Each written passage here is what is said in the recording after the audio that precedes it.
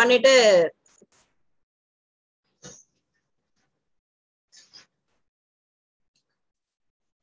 இன்னைக்கான இன்ஃபர்மேஷன் போயிட்டு அதுக்கப்புறம் பண்ணலாம்.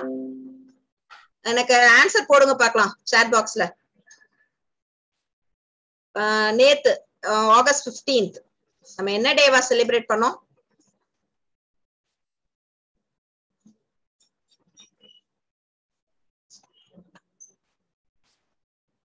கேக்குதா? நான் பேசுறது?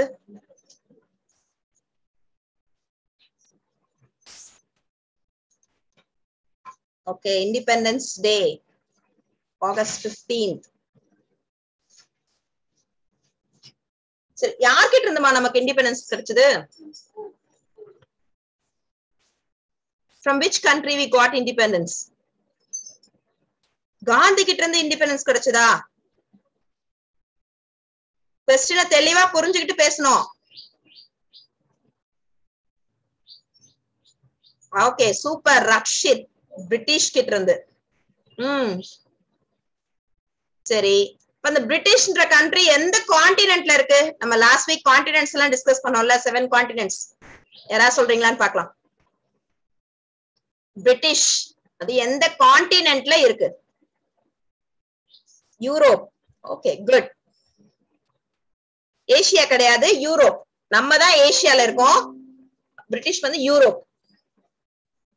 ஆக்சுவலி பிரிட்டிஷ் அப்படின்றது வந்து குரூப் ஆஃப் கண்ட்ரிஸ் உனக்கு நான் ஹோம்ஒர்க் தரேன். நெக்ஸ்ட் வீக் நான் கேட்பேன் எந்தெந்த கண்ட்ரிஸ் எல்லாம் சேர்ந்தது பிரிட்டிஷ்னு சொல்லுவாங்க பிரிட்டன் அப்படின்னு சொல்லுவாங்கன்னு சொல்லணும். அது ஒரு கண்ட்ரி கிடையாது. ஓகே ஓகே ஏன்னா யூரோப் ரைட் கவனிச்சுக்கலாம். எந்தெந்த கண்ட்ரிஸ் எல்லாம் சேர்ந்தது பிரிட்டன் சொல்லுவாங்கன்றத நெக்ஸ்ட் வீக் எனக்கு நீங்க கிளாஸ் ஸ்டார்ட் பண்ணும் போது சேட்ல சொல்லணும். ஓகே இப்போ நான் ரெண்டு அடிஷனல் இன்ஃபர்மேஷன் சொல்ல போறேன். நான் நேத்து நம்ம இண்டிபெண்டன்ஸ் டே செலிப்ரேட் பண்ணதை பத்தி தான். Uh, ஃபர்ஸ்ட் இன்ஃபர்மேஷன் வந்து ஓகே அதுக்கு முன்னாடி ஒரு சின்ன கேள்வி. How many states are there in a country இந்தியாவில் எத்தனை மாநிலங்கள் உள்ளன? Twenty nine twenty eight twenty nine twenty eight கரெக்டா சொல்லலையே. Thirty eight goodness state state கேக்குறேன். டிஸ்ட்ரிக்ட்ஸ் கேட்கல state twenty nine hmm okay கரண்டா இப்போ கரண்ட்லி வந்து டுவெண்ட்டி எயிட் ஸ்டேட்ஸ் தான். டுவெண்ட்டி நைன் ஸ்டேட்ஸ் கிடையாது. ஜம்மு காஷ்மீர். அதோடைய அது இப்ப ஸ்டேட் கிடையாது. அத வந்து ரெண்டா பிரிச்சு ரெண்டு யூனியன் டெரிட்டரிஸா மாத்திட்டாங்க. போதும். சேட் பண்ண வேணாம். கவனிச்சுக்கோ. So there are twenty eight states nine union territories twenty eight states nine union territories Jammu காஷ்மீருக்கு வந்து இப்ப ஸ்டேட் கிடையாது. அது வந்து யூனியன் டெரிட்டரியா ரெண்டா ஸ்பிளிட் பண்ணிட்டாங்க. ஜம்மு அண்ட் லடாக் அப்படின்னு ரெண்டா ஸ்பிளிட் பண்ணி ரெண்டு யூனியன் டெரிட்டரியா இருக்கு. டுவெண்ட்டி எயிட் ஸ்டேட்ஸ் இருக்கு இல்லைங்களா? இதுல நேத்து நம்ம இண்டிபெண்டன்ஸ் ஆக்சுவலி இண்டிபெண்டன்ஸ் வந்து நீங்க அழகா சொல்லிட்டீங்க. பிரிட்டிஷ் கிட்ட இருந்து நமக்கு கிடைச்சது. அதனால நம்ம இண்டிபெண்டன்ஸ் டே செலிப்ரேட் பண்றோம். பட் நம்ம கண்ட்ரில it is a national holiday so national holiday கொடுத்துருக்கோம். பட் ஒரு ஸ்டேட் இண்டிபெண்டன்ஸ் டேவை நேத்து செலிப்ரேட் பண்ணல. செலிப்ரேட் பண்ணல means it is a national holiday but ப்ராப்பரா பார்க்க போனீங்கன்னா ஒரு ஸ்டேட்டுக்கு நேத்து இண்டிபெண்டன்ஸ் டே கிடையாது. நம்ம கிட்ட இருக்கக்கூடிய டுவெண்ட்டி எயிட் ஸ்டேட்ஸ்ல ஒரே ஒரு ஸ்டேட்டுக்கு மட்டும் நேத்து இண்டிபெண்டன்ஸ் டே கிடையாது. அது எந்த ஸ்டேட் அப்படின்னா கோவா. ஏன் கோவா அந்த ஸ்டேட்டுக்கு வந்து இண்டிபெண்டன்ஸ் டே கிடையாது? நேத்து டேட்டுக்கு. ஏன் கிடையாது அப்படின்னா நமக்கு எல்லாருக்கும் தெரிஞ்ச மாதிரி பிரிட்டிஷ் ஆங்கிலேயர்கள் கிட்டதான் நம்ம எல்லாருமே ஸ்லேவ் அதான் அடிமையா இருந்தோம். அதுக்கப்புறம் அவங்க கிட்ட இருந்து சுதந்திரம் வாங்கினோம் அப்படின்னு சொல்றோம் இல்லையா? ஆனா அந்த கோவா அப்படின்ற ஸ்டேட் வந்துட்டு ஆங்கிலேயர்கள் கண்ட்ரோல்ல இல்ல. அவங்க யாருடைய கண்ட்ரோல்ல இருந்தாங்க அப்படின்னா போர்ச்சுகீஸ் சோ இந்த போர்ச்சுகீஸ் எல்லாம் இவங்க எல்லாம் யாரு என்னன்றலாம் நம்ம போக போக பார்ப்போம். Advent of the Europeans eight ஸ்டாண்டர்ட்ல ஃபர்ஸ்ட் லெசன்ல இவங்க எல்லாம் வருவாங்க. அப்ப இவங்களை பத்தி டீடைலா படிச்சுக்கலாம். ரீசன் மட்டும் தெரிஞ்சுக்கோங்க. கோவா அந்த ஸ்டேட் வந்து போர்ச்சுகீஸ் அவங்களோட கண்ட்ரோல்ல இருந்தனால அந்த ஸ்டேட் மட்டும் நேத்து இண்டிபெண்டன்ஸ் டே கிடையாது. பட் நேஷனல் ஹாலிடே பொதுவான நேஷனல் ஹாலிடேன்னும் போது கோவாவும் கன்சிடர் ஆகும்.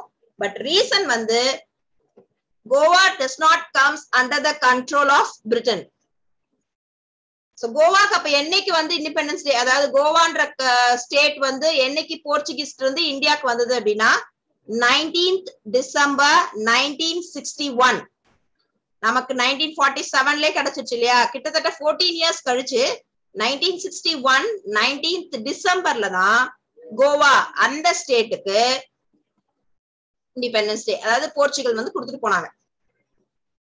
செகண்ட் இன்ஃபர்மேஷன் ஃபர்ஸ்ட் இன்ஃபர்மேஷன் இது கோவாது.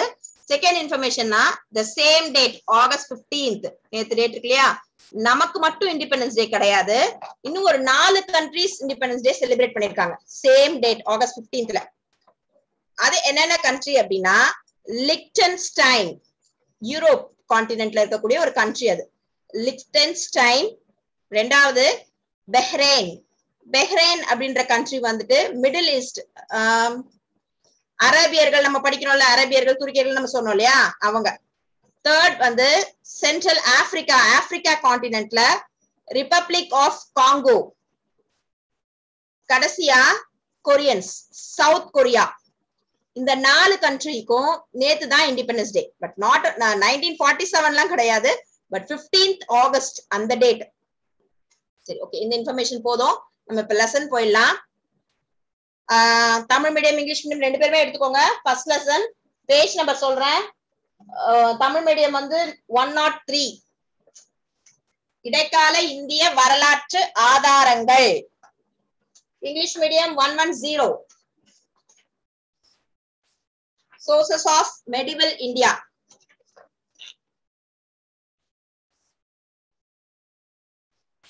teacher screen ஏதாவது ஷேர் பண்றீங்களா? சார் ஆமா சார் அதுதான் பாக்குறேன். ஒரே ஒரு நிமிஷம்.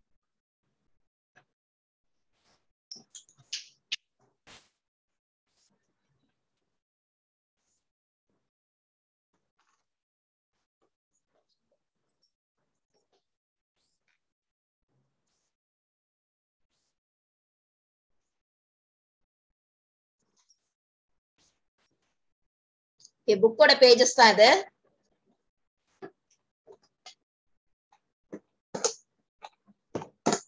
நம்ம இதெல்லாம் ஏற்கனவே டிஸ்கஸ் பண்ணிட்டோம். சும்மா ஒரு கோத்ரூ போயிடலாம்.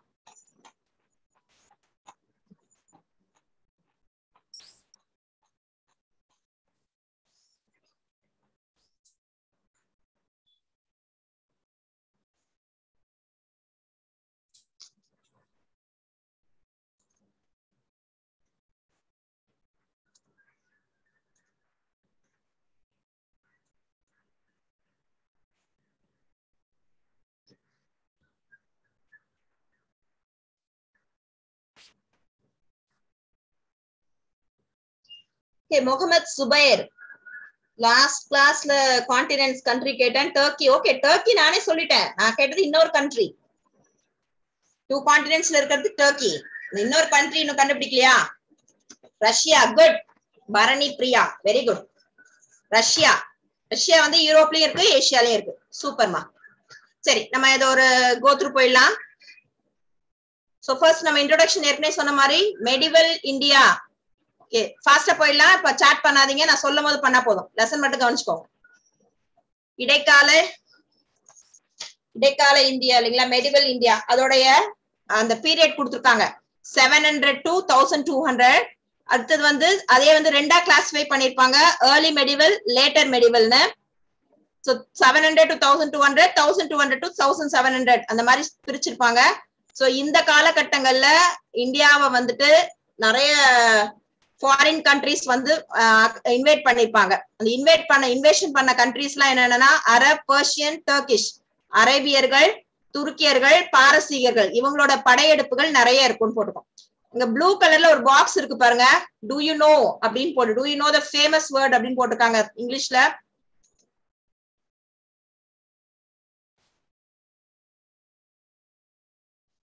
சார் இந்த பென்சில் மார்க் போகணும்னா அனுப்பிடுறது ஆ தமிழ் மீடியம் நெக்ஸ்ட் பேஜ்ல இருக்கு பாருங்க அந்த ப்ளூ பாக்ஸ் அது என்ன அப்படின்னா காஃபி கான் அப்படின்றவரு அவுரங்கசீப். அவர் ஒரு முகல் எம்பரர் இந்த பேரெல்லாம் ஞாபகம் வச்சுக்கோ இந்த லெசன்ஸ் அப்படியே கண்டினியூ பண்ணும் போது அடுத்தடுத்த லெசன்ல இவங்க பேர்லாம் தான் வரும். ஸோ இது வந்து ஸ்டார்டிங் ஒரு லெசனோட ஸ்டார்டிங் அதாவது மெடிவல் இந்தியாவோட ஸ்டார்டிங் ஸோ இந்த நேம்ஸ் எல்லாம் வந்துட்டு போக போக ரிப்பீட் ஆகிக்கிட்டே இருக்கும். நமக்கு நிறைய தெரிஞ்ச மாதிரி தான் இருக்கும். சோ அந்த காஃபி கான் அப்படின்றவர் அவுரங்கசீப்போடைய கோட்டியர். கோட்டியர் மீன்ஸ் அவங்களோட அவையில இருக்கக்கூடிய ஒரு ராஜா இருக்காருன்னா அவரோட அவையில நிறைய மந்திரிகள் மேல இருப்பாங்க இல்லைங்களா? அந்த மாதிரி அந்த அவையில இருந்த ஒரு அறிஞர் தான் காஃபி கான். அவர் என்ன சொல்லியிருக்காருன்னா அந்த கிரானிக்கல்ஸ் அதாவது ஒரு ஹிஸ்டரியை பத்தி ஒரு வரலாற்று ஆசிரியர் ஒரு ஹிஸ்டரியை பத்தி சொல்லணும். ஒரு ஒரு கருத்தை சொல்லணும்னா ஏற்கனவே சொன்னதுதான். ஒரு தலைபட்சமா இருக்கக்கூடாது. ஒருத்தங்களை வந்து புகழ்ந்து சொல்லக்கூடாது. பார்ஷியாலிட்டி பார்க்க கூடாது ஈக்குவலா என்ன நடந்ததோ அது கரெக்டா சொல்லணும். ஒன் சைடடா இருக்கவே கூடாது. அவங்க யாரா வேணா இருக்கலாம். ஃப்ரெண்டா இருக்கலாம் ஸ்ட்ரேஞ்சர்ஸா இருக்கலாம் விரோதியா இருக்கலாம் எப்படி வேணா இருந்துட்டு போலாம். பட் ரொம்ப சின்சியரா அவங்களோட ரைட்டிங்ஸ் அவங்களோட எழுத்துக்கள் வந்து கரெக்டான உண்மையான தகவல்களை மட்டும் சொன்னாதான் அவங்க சிறந்த வரலாற்று ஆசிரியர் அப்படின்னு அந்த காஃபி கான் அப்படின்றவர் சொல்லியிருக்காரு.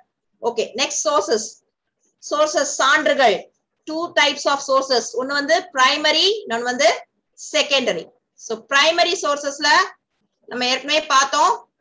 அதுல வந்து மொத்தமா த்ரீ கொடுத்துருப்பாங்க. ஒன்னு வந்து இன்ஸ்கிரிப்ஷன்ஸ் ரெண்டாவது மான்யூமெண்ட்ஸ் காயின்ஸ் நம்ம இதை தான் டிஸ்கஸ் பண்ணிருக்கோம் இவ்வளவு நேரத்துக்கு. நம்ம செகண்டரி தான் இன்னைக்கு பார்க்க போறோம்.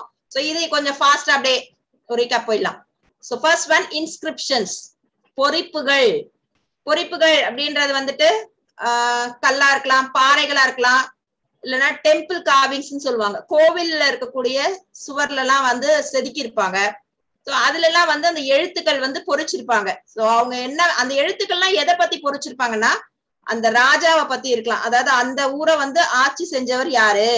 அவர் என்னெல்லாம் விஷயங்கள் செஞ்சிருக்காரு? என்னெல்லாம் அரசாணைகள் பிறப்பிச்சிருக்காரு? அந்த போர்ல வந்து எப்படி எல்லாம் வின் ஒரு ஒரு மத்த நாட்டோட சண்டை போடும் போதோ இல்ல போர் செய்யும் போதோ அவர் வின் பண்ணியிருந்தாலோ இல்ல தோத்து போயிருந்தாலும் எதுவாக இருந்தாலுமே அந்த கல்வெட்டுகள் அந்த பொறிப்புகள்ல பொறிக்கப்பட்டிருக்கும். மேக்சிமம் பாத்தீங்கன்னா பாசிட்டிவ் விஷயங்களை தான் நிறைய சொல்லியிருப்பாங்க. நெகட்டிவ் விஷயங்களை விட பாசிட்டிவான விஷயங்களை நிறைய சொல்லியிருப்பாங்க. லாஸ்ட் வீக் வந்து பாரி வள்ளல் பத்தி ஒண்ணு கேட்டிருந்தேன் இல்லைங்களா? இந்த கதை கேட்டு வந்தீங்களா? சும்மா ஒரு அவுட்லைன் மட்டும் சொல்லிடலாமா? பாரி வள்ளல். அவர் வந்து கடையேழு வள்ளல்களுள் ஒருவர். பரம்பு மலை. அப்படின்னு ஒரு ஊர் இருந்துச்சு. அந்த ஊருடைய அரசர் அவர். சோ கொடை வள்ளல் அவர் அவர் மாதிரி வந்துட்டு அடுத்தவங்களுக்கு கொடுத்து உதவுறதுல வந்துட்டு ஆளே கிடையாது. அவ்வளவு சூப்பரான ஒரு அரசர் அவர். எல்லாருக்குமே வந்து அவரை குறையே சொல்ல மாட்டாங்க. எல்லாருமே வந்து அவரை பாராட்டதான் செய்வாங்க. ஒரு புலவர் வராரு தங்கிட்ட இருக்கக்கூடிய திறமைய வந்து பாடல் மூலமா பாடி காட்டுறாருன்னா பொதுவாவே அரசர்கள் வந்து பொற்காசுகள் கொடுப்பாங்க அவங்களுக்கு. ஆனா இந்த பாரி வந்து பொற்காசுகள் மட்டும் கிடையாது பொற்குவியலாவே கொடுப்பாராம். அதெல்லாம் அளவே கிடையாதாம். தங்கிட்ட இருக்கிறத வந்து மத்தவங்களுக்கு கொடுத்துக்கிட்டே தான் இருப்பாராம். அந்த அளவுக்கு ஒரு சிறந்த மன்னர்.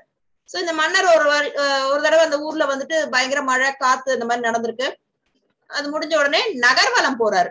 நகர்வலம் அப்படின்றது என்னன்னா அந்த காலத்துல ராஜா வந்துட்டு தன்னோட மக்கள் எப்படி இருக்காங்க? மக்களோட மக்களாவே இருக்கணும். எப்படி தெரிஞ்சுக்கணும்? மக்களோட கஷ்டத்தை தெரிஞ்சுக்கணும். ஏதாவது ப்ராப்ளம் இருக்கா? என்னெல்லாம் கேட்டுக்கணும் அப்படின்றதுக்காக அடிக்கடி போவாங்க. சோ அந்த மாதிரி நகர்வலம் போறாரு. நகர்வலம் போகும்போது தேர்ல போறாரு. இந்த வாட்டி ராஜா மாதிரியே தான் போறாரு. தேர் தேர் ஓட்டி வந்து தேரை ஓட்டிட்டு போறாரு. சோ எங்க பார்த்தாலும் காத்தடிச்சு அப்படியே ஒரே எல்லாம் சாஞ்சு சாஞ்சு கிடக்குது. இப்போ இதெல்லாம் வந்து நம்ம சீர் செய்யணும் நிறைய விஷயங்கள் பார்க்கணும் அப்படின்னு பார்த்துட்டு இருக்கும்போது வழியில ஒரு முல்லை கொடி ஒரு கிளைம்பர் மாதிரி ஒரு முல்லை கொடி அது வந்து பொதுவாவே தாவர வகையில வந்து இந்த செடி கொடி எல்லாம் சொல்ற மாதிரி இந்த கொடி இனத்துக்கு வந்துட்டு அது ஆட்டோமேட்டிக்கா அப்படியே மத்த செடிங்க மாதிரி அப்படியே ஸ்ட்ரைட்டா அப்படி எல்லாம் வளர்ந்துட்டு எல்லாம் போகாது. அது படக்க படர்ந்து வளர்றதுக்கு கிளைம் பண்றதுக்கு கிளைம்பர்ஸ் சொல்லுவோம் இல்லையா?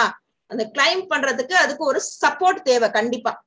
சோ அது இல்லைன்னா அதால ஒழுங்கா வந்து மேற்கொண்டு வளர முடியாது. அது அப்படியே பட்டு போகிறதுக்கும் வாய்ப்புகள் அதிகம். சோ அதனால அது கொடியின் வகைன்னு சொல்லுவாங்க. அந்த மாதிரி ஒரு முல்லைப்பூவோடைய கொடி வந்துட்டு அப்படியே படற இடம் இல்லாம அப்படியே கீழே சாஞ்சு போய் கிடக்கு. இந்த காத்து வேற ஒவ்வொரு அடிச்சிச்சுல அந்த ஆழி காற்று அடிச்ச வேகத்துல அது அப்படியே சாஞ்சு போயிடுச்சான் உடனே அந்த ராஜா வந்து அதை பார்த்த உடனே ஐயோ என்னடான்னு தெரியலன்ட்டு இறங்கி நடந்து போய் கிட்ட போயிட்டு அந்த கொடியை எடுத்து கையில வச்சுட்டு உடனே அந்த தேர் பா தேர் ஓட்டிய கூப்பிடுறாரு. கூப்பிட்டு என்ன சொல்றாரு? அதுல கட்டிட்டு குதிரையை கழட்டிட்டு அந்த தேரை மட்டும் கொண்டு வந்து கொடுங்க அப்படின்னு சொல்றாரு.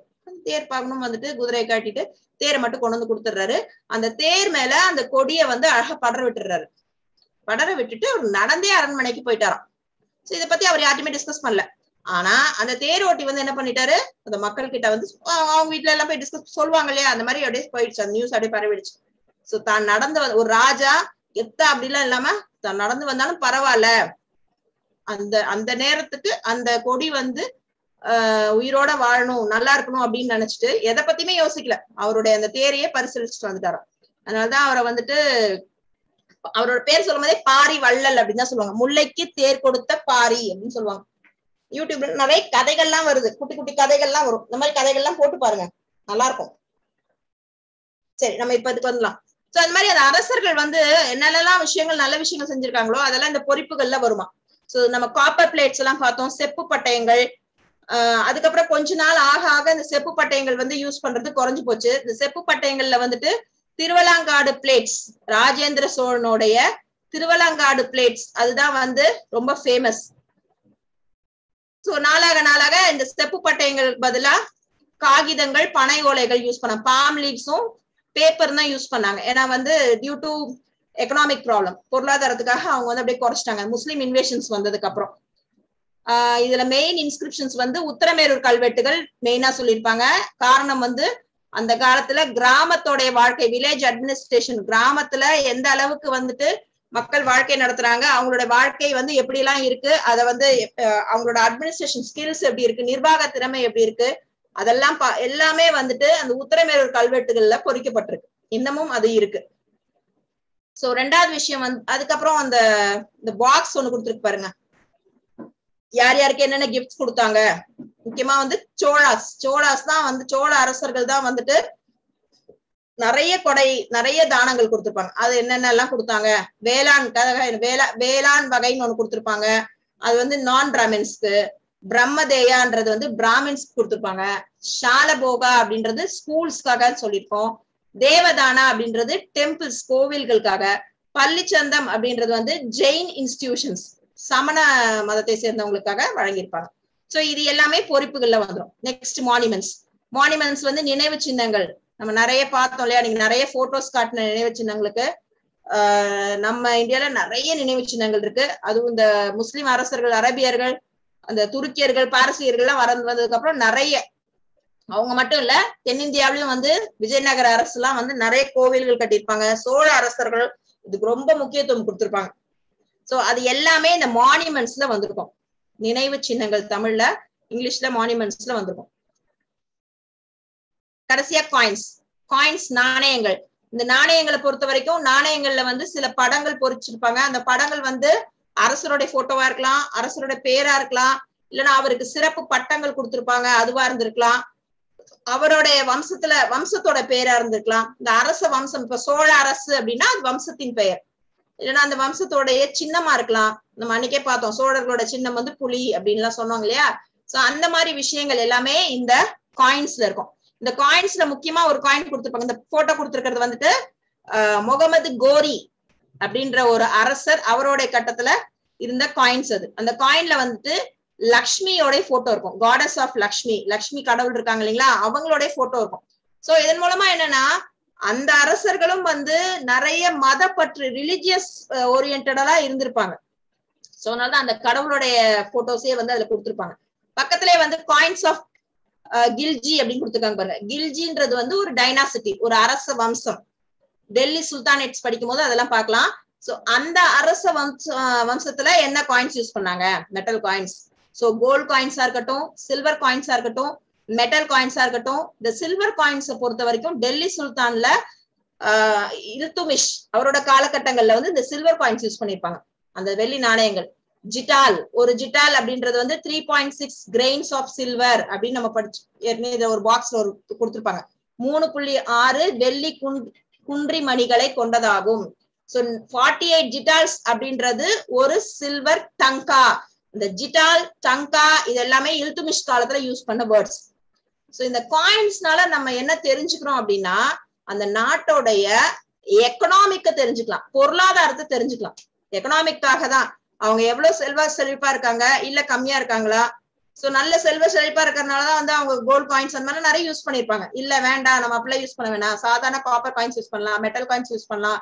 சோ அந்தந்த ராஜாவை பொறுத்து. சோ இதுக்கு எல்லாத்துக்கும் மெயின் காரணம் ஒரு நாட்டின் பொருளாதார வளம். எக்கனாமிக்கலா அந்த நாடு எக்கனாமிக் ப்ராப்பர் ப்ராஸ்பரிட்டி எப்படி இருக்கு?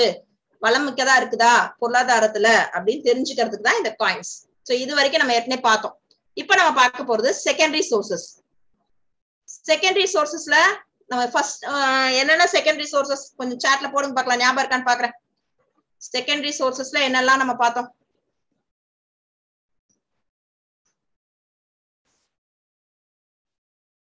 செகண்டரி சோர்சஸ் நான் ஒரு பவர் பாயிண்ட் காட்டினல பிரைமரி சோர்சஸ்ல இந்த மூணு இருக்கும். என்னென்ன சொன்னேன்? மானுமெண்ட்ஸ் இன்ஸ்கிரிப்ஷன்ஸ் காயின்ஸ் அதே மாதிரி ஓகே லிட்ரரி ஒர்க்ஸ் குட் அப்புறம் வேற என்னெல்லாம் secondary sources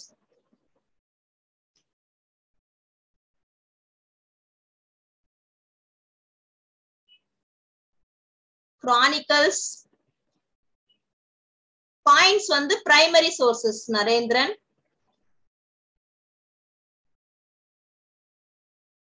Okay chronicles literary works biographics மானுமெண்ட்ஸும் பிரைமரியில வந்துடும் சுயசரிதை ஓகே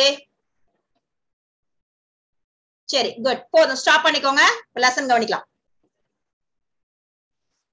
சோ ஃபர்ஸ்ட் நம்ம சொன்ன மாதிரி லிட்ரரி ஒர்க்ஸ் அதாவது புக்ஸ் இலக்கியங்கள். இலக்கியங்கள்ல வந்து இவங்க டூ கொடுத்துருக்காங்க பாருங்க. ஒண்ணு வந்து ரிலீஜியஸ் லிட்ரேச்சர் இன்னொன்னு வந்து செக்யுலர் லிட்ரேச்சர் ரெண்டு இலக்கியங்கள் கொடுத்துருக்காங்க. தமிழ்ல சமய இலக்கியங்கள் சமய சார்பற்ற இலக்கியங்கள்.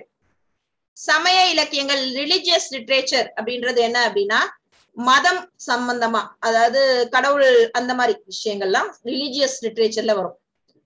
சோ டிவோஷனல் மூமெண்ட் பக்தி இயக்கம் முதல் முதல்ல வந்து நம்ம தென்னிந்தியா சவுத் இந்தியால தான் ஸ்டார்ட் ஆச்சாம். இங்க இருந்து தான் டெவலப் ஆகி நார்த் இந்தியாவுக்கு போயிருக்கோம்.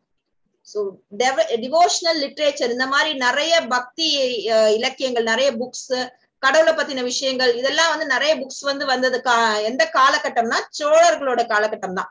சோழா லிட்ரேச்சர் சோழர்களுடைய காலகட்டத்துலதான் வந்துட்டு நிறைய புக்ஸ் எழுதுனாங்களாம். இந்த சமய இலக்கியங்கள் டிவோஷனல் லிட்ரேச்சர் சோ உங்களுடைய புக்ல பாத்தீங்கன்னா கம்பராமாயணம் சேக்கிழார் அப்படி எல்லாம் கொடுத்துருக்காங்க.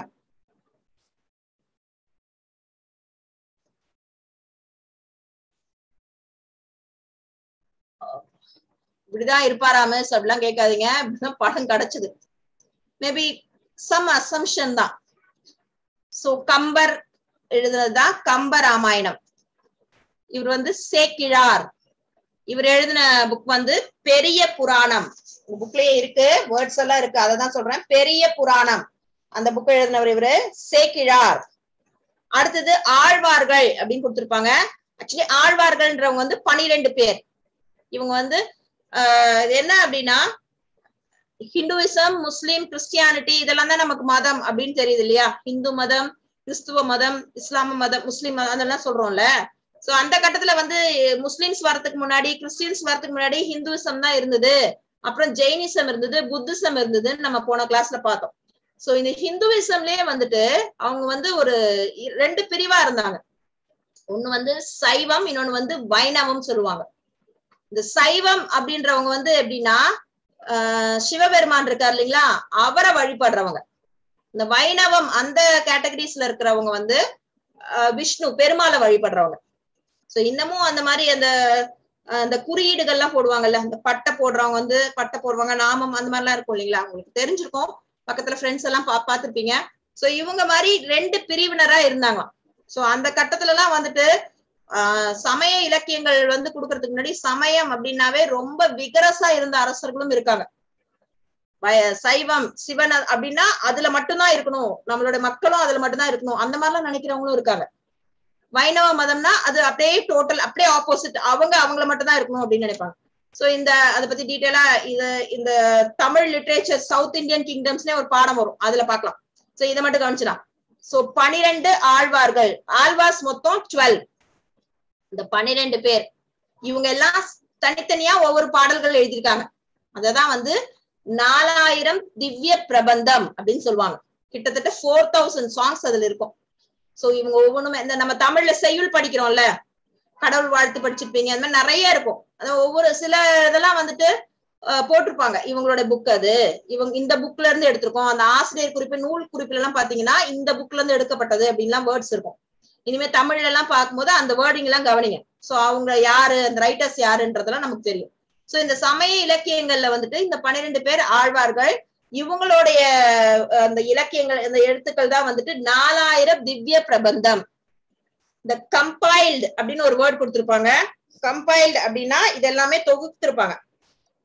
ஒவ்வொருத்தர் ஒவ்வொன்றும் எழுதியிருப்பாங்க. இது எல்லாத்தையும் சேர்த்து இந்த நாலாயிரம் திவ்ய பிரபந்தம் அப்படின்ற புக்கை அவங்க கொடுத்திருப்பாங்க.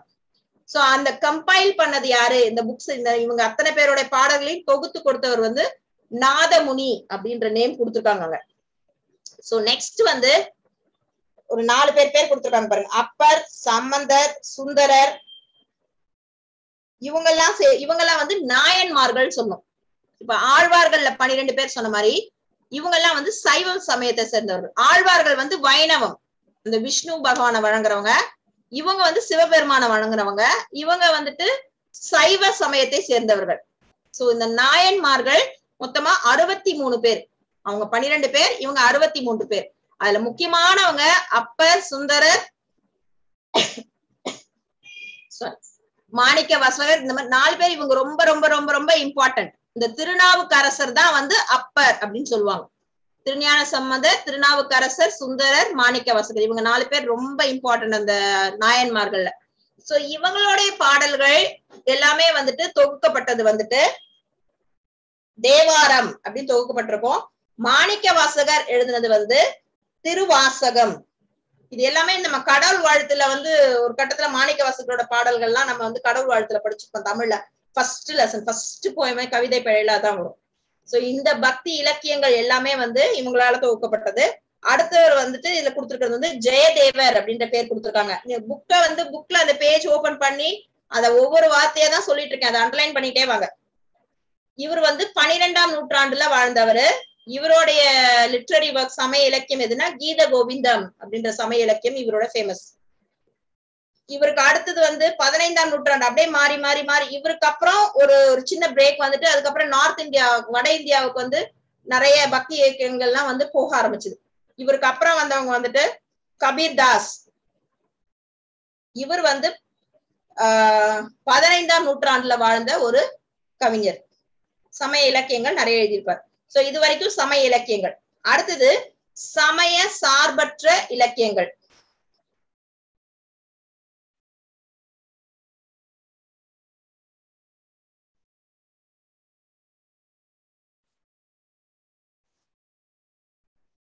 புக் புக்கோட ஸ்கிரீன் தெரியுதா? சார் புக் ஸ்கிரீன் தெரியுதுங்களா? பிபிடி தான் மேடம் தெரியுது. ஓ. ரீஷேர் பண்ண ரீஷேர் பண்ணுங்க. ஓகே ஓகே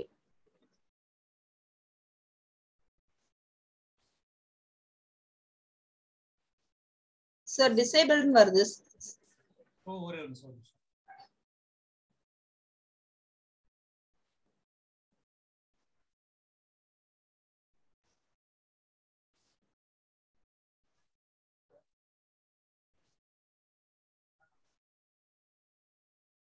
டீச்சர் போய் ட்ரை பண்ணுங்களா ஆ ஓகே சார்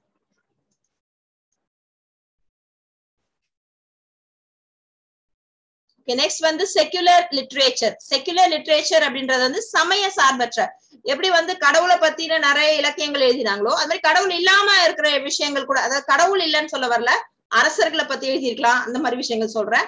சோ ஃபர்ஸ்ட் வந்து மதுர விஜயம். அந்த மதுர விஜயம் அப்படின்ற புக்க வந்து அந்த போயம் அந்த செய்யுல கம்போஸ் பண்ணவங்க வந்து கங்கா கங்காதேவி அப்படின்றவங்க. அடுத்தது கிருஷ்ணதேவராயர். இவர் ஒரு அரசர். இவர் எழுதினது வந்து அமுக்த மல்யு மால்யுத்தா. இந்த இலக்கியங்கள் வந்து இவரா எழுதினது. சோ இவருடைய தனிநபருடைய நிகழ்வுகள் எல்லாமே வந்து இந்த இலக்கியத்துல நம்ம தெரிஞ்சுக்கலாம்னு சொல்றாங்க. அடுத்து சந்த் பார்தாய் அப்படின்றவரு பிருத்திவிராஜ் ராசோ அப்படின்னு ஒரு அரசர் இருந்தாரு. ராஜ்புட் அரசர் அவரு. ரொம்ப ஃபேமஸ் அவரு. அந்த அரசரை பத்தின டீடைல்ஸ் ஃபுல்லா இவர் கொடுத்திருப்பாரு. சோ என்னதான் வந்து ஒவ்வொருத்தர் ஒவ்வொரு விஷயங்கள் சொல்லியிருந்தாலுமே கடைசியா ஒரு வேர்ட் கொடுத்துருக்காங்க பாருங்க கல்ஹனா அப்படின்னு. கல்ஹனாஸ் ராஜதரங்கினி. லெவன்த் செஞ்சுரியில தமிழ்ல கல்ஹனாரின் ராஜதரங்கினி. இந்த புக் தான் வந்துட்டு ஆஹ் இந்தியா வந்து டர்க்கிஷ் இன்வேஷன்ஸ்ல எப்படி இருந்தது? துருக்கியர்களோட படையெடுப்பின் போது எப்படி இருந்தது? அதுக்கு முன்னாடி இந்த ப்ரீ இஸ்லாமிக் ப்ரீ இஸ்லாமிக்னா இஸ்லாமிய மதத்துக்கு முன்னாடி இஸ்லாமிய மதம் வந்து டர்க்கிஷ் வந்ததுக்கு அப்புறம் தான் இல்லைங்களா? துருக்கியர்கள் வந்ததுக்கு அப்புறம் அரபியர்கள் துருக்கியர்கள் வந்ததுக்கு அப்புறம் தான் சோ இந்த அரப் இன்வேஷன்ஸ் டர்கிஷ் இன்வேஷன்ஸ்க்கு முன்னாடி எப்படிலாம் இருந்தது? இந்தியா எப்படிலாம் இருந்துச்சு? அப்படின்ற அந்த அதை பத்தி தெரிஞ்சுக்கணும்னா இந்த கல்ஹனாஸ் ராஜதரங்கினி கல்கனான்றது ஒருத்தரோட பேரு. அந்த புக் பேர் வந்து ராஜதரங்கினி. அந்த புக் படிச்சா நம்ம தெரிஞ்சுக்கலாமா. சோ நெக்ஸ்ட் வந்து புக்ஸ் பயோகிராபிஸ் ஆட்டோபயோகிராபிஸ் கொடுத்துருக்காங்க. நூல்கள் வாழ்க்கை வரலாறுகள் சுயசரிதைகள் எல்லாமே. இதுல நிறைய புக்ஸ் பேர் கொடுத்துருக்காங்க. சோ சில புக்ஸ் மட்டும் நான் சொல்றேன். அது என்ன இம்பார்ட்டன்ஸ் மட்டும் சொல்றேன். அந்த புக்கோட நேம் எல்லாம் வந்து கொஞ்சம் கஷ்டமா தான் இருக்கும். எல்லாமே வந்து இந்த அரேபிய மொழின்றனால தமிழ்ல அடிச்சிருந்தாலுமே ஒரிஜினலா அதெல்லாம் வந்து அரேபிய மொழி. அர அதனால வந்து அந்த வேர்டிங்ஸ் உச்சரிக்கிறதுலாம் கொஞ்சம் கஷ்டமா இருக்கும். பாத்துக்கலாம் சோ ஃபர்ஸ்ட் அடிமை வம்சம் கொடுத்துருக்காங்க பாருங்க. ஸ்லேவ் டைனாசிட்டி இந்த டெல்லி சுல்தானேட்ஸ் பார்க்கும் போது பாத்தீங்கன்னா அந்த வந்தாங்கன்னு சொன்னோம் இல்லைங்களா அந்த டர்கிஷ் எல்லாம். அந்த டர்கிஷ் வந்ததுக்கு அப்புறம் யார் ஃபர்ஸ்ட் ராஜா வராங்களோ அவங்களோட வம்சம். எப்படி நம்ம சோழ வம்சம் பாண்டிய வம்சம் சொல்றோமோ அந்த மாதிரி அடிமை வம்சம் ஸ்லேவ் டைனாசிட்டி அவங்க தான் ஃபர்ஸ்ட் வந்திருப்பாங்க. ஸோ டெல்லி சுல்தானேட்ஸ்ல ஒரு ஃபைவ் டைனாசிட்டிஸ் இருக்கும். அதுல ஃபர்ஸ்ட் டைனாசிட்டி வந்து ஸ்லேவ் டைனாசிட்டிஸ் இந்த ஸ்லேவ் டைனாசிட்டில வந்துட்டு சுல்தான் நசிருதீன் மெஹமூத். நசர் சுல்தான் அப்படின்னா ராஜான்னு அர்த்தம். சோ அவருடைய பேட்டர்னைஸ் பண்ணி அவரை பத்தி வந்துட்டு மினாஜ் ஹஸ் சிராஜ் அப்படின்றவர் எழுதியிருப்பார். சோ அவர் எழுதின புக் வந்து தபாகத் ஹி நஸ்ரி அப்படின்னு. தபாகத் ஹி நஸ்ரி தமிழ் இருக்கு பாருங்க. இது வந்து அவருடைய பேர் வந்து நசருதீன் முகமது இல்லைங்களா? அந்த நேம் ஞாபகம் வச்சுக்கிறதுக்காக அவர் நஸ்ரி அப்படின்னு எழுதியிருப்பார். சோ இது என்ன அப்படின்னா முகமது கோரி முகமது கஜினி முகமது கோரி ரெண்டு பேர் ரொம்ப இம்பார்ட்டன்ட்டு இதுல இந்த முகமது கோரி வந்து அவருடைய படையெடுப்பு இன்வேஷன்ஸ் பண்ணிருப்பார் இல்லையா நம்ம ஊருக்கு? சோ அந்த இன்வேஷன்ஸ் வந்து அத பத்தின ஃபுல் டீடைல்ஸுமே இந்த புக்ல கொடுத்திருப்பாங்க. அடுத்து ரெண்டாவது ஒரு புக் கொடுத்திருக்காங்க பாருங்க. தாஜ் உல் மாசிர். தாஜ் உல் மாஹசிர். இது ரொம்ப இம்பார்ட்டன்ட் ஏன் இந்த புக் ரொம்ப இம்பார்ட்டன்ட் அப்படின்னா டெல்லி சுல்தான்ஸோடைய ஃபுல் வரலாறையுமே இந்த புக் சொல்லுமா. First official book of Delhi sultanates நம்ம டெல்லி சுல்தான்ஸ்னு ஒரு அஞ்சு அஞ்சு டைனாசிட்டிஸ் பார்ப்போம்னு சொன்னேன் இல்லைங்களா? சோ இந்த டெல்லி சுல்தானேட்ஸ் இவங்கெல்லாம் தான் இவங்கெல்லாம் தான் வரிசையா வந்தாங்க. இந்த ராஜா தான் ஃபர்ஸ்ட் இருந்தாரு இதுக்கப்புறம் இவர் வந்தாரு. இவங்க எல்லாம் என்னென்னலாம் கட்டினாங்க? ஆஹ் என்னென்ன மானுமெண்ட்ஸ் இருந்தது? எல்லா விஷயங்களுமே இந்த புக் தான் சொல்லுவாங்க. இதுதான் ஃபர்ஸ்ட் அபிஷியல் புக் அதாவது இதுதான் கரெக்டான புக் அப்படின்றது வந்து கரெக்ட் அப்ப மத்ததெல்லாம் தப்பாமஸ் அப்படி கிடையாது. இதுல கொடுக்கப்பட்ட இன்ஃபர்மேஷன்ஸ் எல்லாமே வந்து சரியானது அப்படின்னு அரசாலே வந் அரசாங்கம் அரசு இருக்கு இல்லையா? அரசால வந்து அரசின் இசைவு ஓகே இது கரெக்ட் தான் அப்படின்னு வந்து கவர்மெண்டே வந்துட்டு இது அபிஷியலா அனௌன்ஸ் பண்ணிருக்கு. அதனால இந்த புக் ரொம்ப இம்பார்ட்டன்ட் தாஜ் உல் மாசிர் அப்படின்ற புக் இந்த புக்கோட பேரு. இதுதான் வந்து இல்துமிஷ் ரூலோடைய அதாவது டெல்லி சுல்தானோடைய ஃபர்ஸ்ட் அபிஷியல் ஹிஸ்டரி பத்தி சொன்ன புக் இதுதான். அடுத்தது முகமது துக்லக் அவர் ஒரு புக் கொடுத்திருப்பாரு. தரோகிஹி ஃபிராஸ் ஷஹானி. டீச்சர் சார் அடுத்து பசங்க வர சொல்லணுமா அடுத்த செஷன் ஆமா சார் முடிச்சலாம் ஒரு பேஜ் கூட இல்ல சார். இல்ல திரும்ப வர சொல்லணுமான்னு கேக்குறேன். ஆமா சார் ஆமா சார். த்ரீ மினிட்ஸ் சரி. கண்ணா செஷன் முடிஞ்சதுன்னா திரும்ப அதே லிங்க்ல ரீஜாயின் பண்ணு. ஓகே டீச்சர் கண்டிப்பா பண்ணுங்க. சாரி ஆ ஓகே சார். இது முடிச்சிடலாம் சார் அதனால சார். ஓகே ஓகே லெசன் மூணு வாட் மூணு நாளா போகுது. ஓகே டீச்சர் ஆ ஓகே சார். சோ இந்த மாதிரி புக்ஸ் இந்த புக்ஸ் எல்லாமே வந்துட்டு ஒவ்வொரு விஷயங்கள் அவங்க அவங்களுடைய காலகட்டத்தை சொல்லியிருந்திருக்கோம். இதுல ப்ளூ கலர்ல ஒரு பாக்ஸ் கொடுத்திருக்காங்க பாருங்க. இந்த வேர்ட்ஸ் எல்லாம் பாருங்க இந்த தபாகத் அப்படின்றது வந்து அரேப் அரேப் வேர்ட் அரேபிய சொல் போட்டிருக்காங்க. சோ இதுக்கான மீனிங் வந்து செஞ்சுரிஸ் நூற்றாண்டுகள். அடுத்தது பர்ஷியன் வேர்ட் அது மாதிரி அரேபிக் வேர்ட் இது எல்லாமே அரேபிய சொல் பர்ஸ் பாரசீக சொல் தான். அதனாலதான் அந்த வேர்ட்ஸ் எல்லாமே ரொம்ப டிஃப்ரெண்டான வேர்ட்ஸா இருக்கு. சோ இந்த புக்ஸ்ல வந்துட்டு ஒவ்வொரு புக்குமே வந்து இங்க என்ன வேர்ட் கொடுத்துருக்காங்களோ அதுதான். சோ பாபர் அப்படின்றவர் வந்து ஃபர்ஸ்ட் முகல் எம்பரர் நம்ம ஊருக்கு வந்திருப்பாரு. சோ அவருடைய பேர்ல அவரோட பாபர் நாமா அப்படின்னு ஒருத்தர் புக் எழுதியிருப்பார். சோ இந்த புக்ஸ் எல்லாமே வந்து ஒருத்தர் இன்னொருத்தரை பத்தி எழுதியிருக்கலாம் அரசரை பத்தி எழுதியிருக்கலாம். இல்லைன்னா அந்த அரசரே தன்னை பத்தி எழுதியிருக்கலாம். சோ சுய அதான் சுயசரிதை. சுயசரிதைன்றது என்னை பத்தி நானே எழுதிக்கிறது சுயசரிதை. என்னை பத்தி இன்னொருத்தர் எழுதுனா அது வந்துட்டு ஆட்டோ சாரி பயோகிராபிஸ் என்னை பத்தி நானே எழுதிக்கிட்டா அது வந்து ஆட்டோ பயோகிராபி சோ அந்த டிஃபரன்ஸ் இருக்கு. சோ பயோகிராபிஸ் ஆட்டோ பயோகிராபிஸ் ஒருத்தரை பத்தி அவங்களே எழுதிக்கிறது இல்ல அவங்கள பத்தி இன்னொருத்தர் எழுதுறது. சோ இதுல இந்த விஷயங்கள் வந்துட்டு பயோகிராபிஸ்ல வந்துரும். நெக்ஸ்ட் வந்து பயணிகளும் பயண நூல்களும். சோ யாரெல்லாம் டிராவலர்ஸ் வந்து இந்தியாவுக்கு வந்தாங்க இவங்க வந்தனால டிராவலாக்ஸ் வந்தனால எந்தெந்த ஊருக்கெல்லாம் வந்தாங்க இத பத்தி தான் தெரிஞ்சுக்க போறோம். சோ இதோட இந்த லெசன் முடிஞ்சிரும். சோ இந்த டிராவலாக்ஸோட பார்த்தலாம் ஃபர்ஸ்ட் வந்து மார்க்க போலோ அப்படின்னு ஒரு நேம் கொடுத்திருப்பாங்க. வெனிச்சியன் டிராவலர் வெனிஸ் அப்படின்ற ஊரை சேர்ந்தவர் இவரு. வெனிஸ் அப்படின்ற சாரி வெனிஸ்ன்ற நாட்டை சேர்ந்தவர். யூரோப்ல ஒரு காண்டினென்ட் இது. இவர் வந்து பாண்டியா கிங்டம் பாண்டிய அரசு இருக்கு இல்லையா? அந்த பீரியட்ல தமிழ்நாட்டுக்கு வந்தவர். சோ இந்த மார்க்க போலோ ட்வைஸ் ரெண்டு தடவை காயல் அப்படின்ற போர்ட் சிட்டிக்கு வந்திருக்காரு. போர்ட் சிட்டி அப்படின்னா வந்துட்டு துறைமுகம் போர்ட் தூத்துக்குடி பக்கத்துல இருக்க ஒரு இடம் அது. சோ அங்க வந்து ரெண்டு தடவை வந்திருக்காரு. ரெண்டு தடவை எதுக்கு வந்திருக்காரு அப்படின்னா full of ships Arabia and China வழியா வந்திருப்பாரு. இவர் இவர் வந்து கம்ப்ளீட்டா சதன் இந்தியால நடந்த விஷயங்கள். இவங்க வந்து எந்தெந்த நாட்டுக்கு வந்து போய் வியாபாரம் செய்யறாங்க அதெல்லாம் இவர் நல்லா அவரோட புக்ல மென்ஷன் பண்ணிருப்பாராம். சோ இவரோட மெயின் விஷயம் வந்து ஒரு விஷயம் சொல்லியிருப்பாரு தௌசண்ட்ஸ் ஆஃப் ஹார்சஸ் ஹார்சஸ்னா குதிரைகள். இந்த குதிரைகள் எல்லாமே வந்துட்டு அரேபியால இருந்தும் பேர்ஷியால இருந்தும் வந்து கடல் வழியா இங்க கொண்டு வந்திருப்பாங்க. சோ கடல் வழியா வந்து இம்போர்ட் பண்ணிருப்பாங்க இறக்குமதி செஞ்சிருப்பாங்க. சோ இதெல்லாம்